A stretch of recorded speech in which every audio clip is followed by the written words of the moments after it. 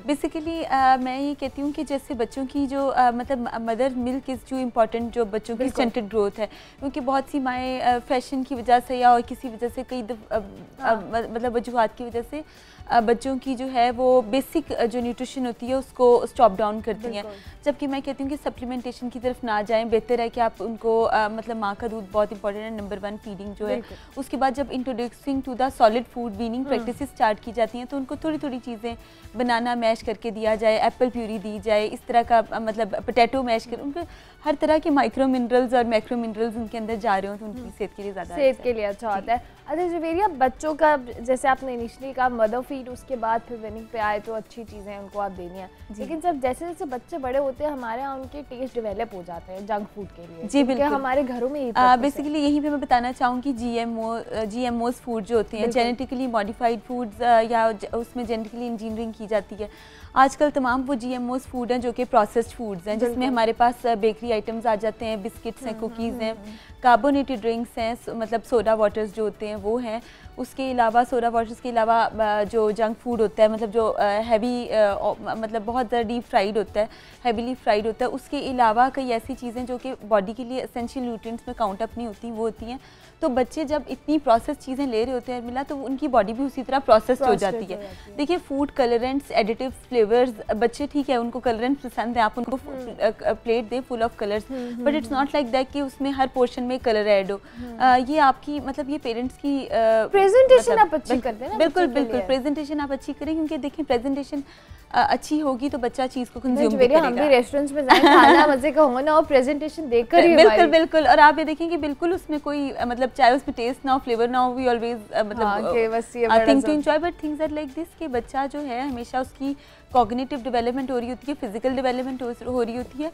तो बेसिकली जो school lunch boxes हैं उस उसमें प्रॉपर न्यूट्रिशनल वैल्यूज़ होनी चाहिए। Like to say that one fruit item हो जाए अगर आप उसको मतलब वाटर्स दे रहे हैं जैसे हम बड़े डिटॉक्स वाटर यूज़ करते हैं हम्म। इसी तरह बच्चे भी फ्लेवर्ड वाटर यूज़ कर सकते हैं। फ्लेवर्ड वाटर का मतलब है आपने कुछ हिस्सा बीट रूट एप्पल और कैरेट जूस उसको पानी में डाइल्यूट करके बच्चे को बॉटल में दें। हम्म, अब बात यह कि उन जो बच्चा है उसका टेस्ट डेवलप होना बहुत ज़रूरी है ताकि वो जिद ना करे कि मुझे जंक फ़ूड ही खाना है या मुझे इसी तरह हाँ। की चीज़ें कंज्यूम करनी है जो बहुत हैवीली फ्राइड है या ओवर कुकड है। तो आप ये देखिए कि बच्चे जो होते हैं वो हमारे नेशन बिल्डर्स हैं और हमारा फ्यूचर भी हैं पर उन्हीं की सेहत को ये देखते हुए कि जो स्पेशली जो माएँ यूटेंसिल्स जो बहुत काउंट करते हैं बहुत अच्छा। हद तक। वे ऑफ़ कुकिंग बहुत ज़्यादा काउंट करते हैं। हाँ, आप ये देखें कि जो प्लास्टिक जो है जिसमें प्लास्टिक में अगर आप देखें कि बीपीए फ्री प्लास्टिक लिया जाए तो वो ज़्यादा अच्छा है।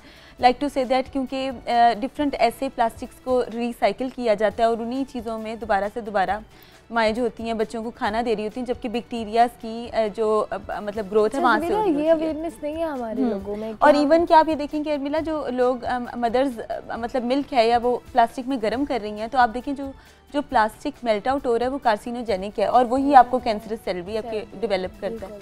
तो एक चीज़ ये कि जो स्पेशली जो छोटे बच्चे हैं उन माएँ वगैरह फीडर में दूध गर्म करी हैं चीज़ें करी तो बेहतर है कि वो अगर स्टीनलेस स्टेनलेस स्टील में अगर वो गर्म करती हैं और फिर उसमें एडअप करती हैं तो इट्स फाइन क्योंकि अच्छा हमारा हम्म। गर्म खाना भी प्लास्टिक के बर्तनों में डालने का बड़ा रिवाज है। हम गर्म या तो माइक्रोवेव में गर्म करते हैं प्लास्टिक में।